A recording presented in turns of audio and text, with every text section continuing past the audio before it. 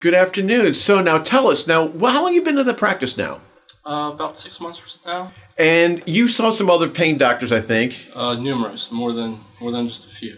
And so, what seems to separate us out from those other individuals? Um, taking the time to actually diagnose. It wasn't just a kind of jump to conclusion thing. It took time to actually look at it and and uh, work with me rather than just doing a just two seconds and here's what it is.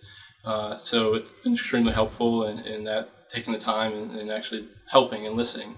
So you, you got like a better doctor-patient relationship. Oh, absolutely, hundred percent. Yeah, that, that's no question. Really? Now you just basically had some low back pain that we've done some facet injections. Correct. Yeah, it's been the lower back. Uh, nothing really uh, going down my legs or anything like that, but just Right. more um, uh, just discomfort sitting, sleeping, and, and things like that. So And then over the past six months, how's it been for you?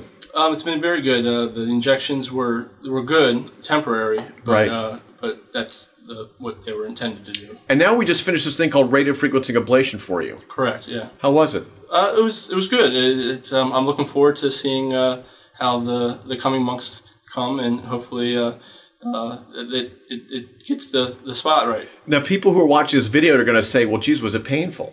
Uh, it, it was a little discomfort, but something that was definitely bearable. Nothing out of the ordinary.